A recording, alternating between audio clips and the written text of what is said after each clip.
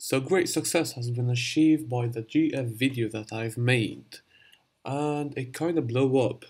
Hey honey. Hey baby. To the point that someone with double subscribers as I copied my idea. So uh, you all ask me for source code. So here is me explaining the code and giving you the code for free. Make sure to join the Discord server and will be appreciated if you donate because it will help me buying a new laptop. So uh, let's get into it. To make those rainbows in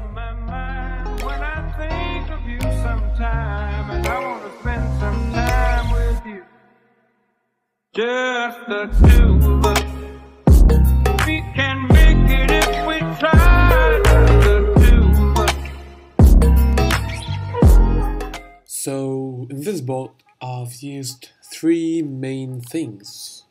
Firstly, my API. Secondly, Dialogflow. And thirdly, or is that a word? I don't know. Anyways, this Discord, uh, this npm package. Okay. So um, so let me explain to you my code basically. So uh, first of all, I had to require .env uh, to basically make my .env file work. And then um, I got client and intents from this basic stuff, okay? Creating basic bot. Uh, here from um, the discord.js slash voice I had to get the join uh, voice channel create audio resource create audio player get voice connection and you will see why here uh, is basically the voice recognition or the speech recognition basically. So whenever I talk the bot knows what I'm saying. Um, let me also show you all the packages. So uh, discord.js voice Axios um, you can either, either use Axios or NodeFetch, but I had both, so I can just test uh, test it on both, just in case. But you only need one. I've explained actually in the last video, and um, the voice recognition, Discord.js, NodeEnv, and TweetNaCl. Don't ask me what is this, but it is required to make um, discord.js slash voice works okay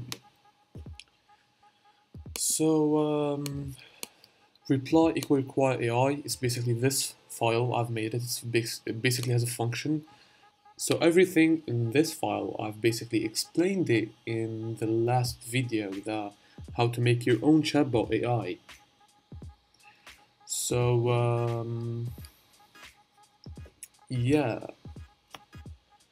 uh, here I basically started fetching this Dialogflow. Is I'm going. I'm not gonna just actually just re um, re-explain this. You can just take a look at the video. It's over here now on the top. So um, yeah, I'll skip on this. You can watch the other video. Here I basically just put the intents. Uh, I uh, logged in. I started using uh, the token, the boss token. Here I've used the add speech function that is um, offered by the Discord speech recognition package and I said that the language is going to be English. Okay, you can take a look at their documentation here. Okay, it was add speech here. I guess this one, right? So here's an option. Here's an example. This is probably Polish in Poland. Okay,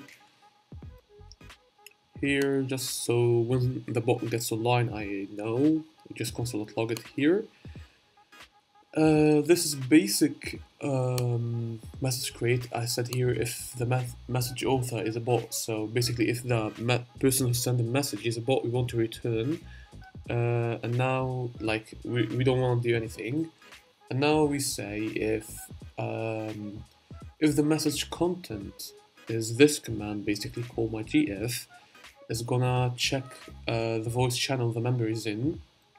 If he's not in a uh, in a channel, it's gonna reply by you need to be in a voice channel to use this command. and then it's going to continue the code normally, which is basically join voice channel, which is offered by uh, Discord uh, js slash voice. Okay, the, it needs the channel ID, the guild ID. Uh, don't ask me after this, okay, and self the uh, deaf. You're gonna make basically false because you want the bot to hear you talking, okay. Here to this event is basically whenever I talk, there is in like there is a context coming back. Okay, so here is uh, the context basically. So I said if there is no message content, you're gonna return. Okay, because like you can do wa la la la like that. There is basically no content, but the bot hit something. So yeah, we're gonna just return. We don't want any errors. This yeah, I guess you can already tell what is it because when you say this word, okay, I don't want to get demonetized. Basically, um, uh, it's gonna it's gonna make it into this. Okay, so I'm gonna type F and three stars. So we want to replace it. So we're gonna make the message content equal the message content, but replacing this by that. Okay. And now you can console.log the message content if you want to, of course, but yeah. Uh, here, let A, let resource are empty, blank variables. Then we made a player, okay, using the uh, node, uh, the Discord.js slash voice package. Um, and here the same thing. Here we're getting the connection basically, so we can uh, uh, like we can work using it. Like we we can know which channel the bot is in and all these data okay basically um, so now we did we uh, assigned a uh, like a value which is going to be our uh, function basically it, it requires the user ID which is basically a session ID for Dialogflow okay and it requires a message content because it needs something to reply to right here.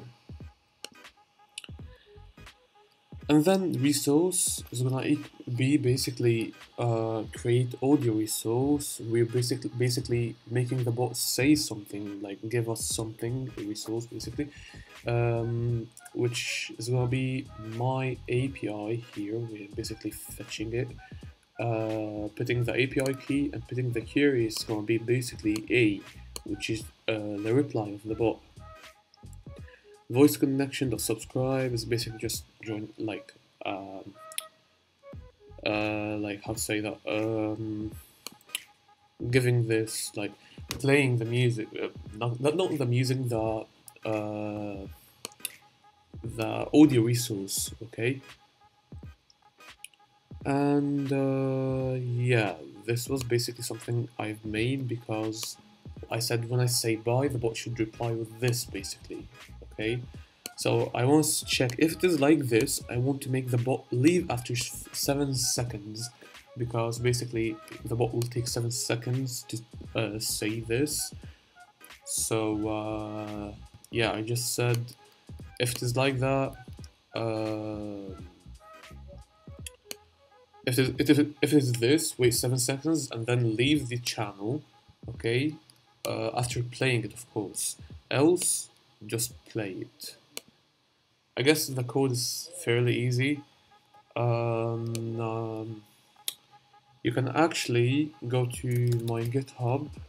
Okay, here we go. Let me just do uh, like this. Oh, come on, no, I want this like that. All right.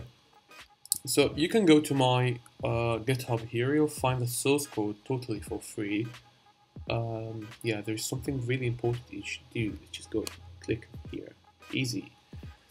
Okay, so um, yeah, I hope you enjoyed the, the video. I hope you really liked the idea. Uh, last video I said uh, if it got 50 likes, I'll make dead locator, and apparently it got like 200 plus. So uh, wait me in the next video, okay? So that was it for today's video. I hope you enjoyed. Don't forget to like and to subscribe and to leave a comment down below what you want the next video to be. That's it. And ciao.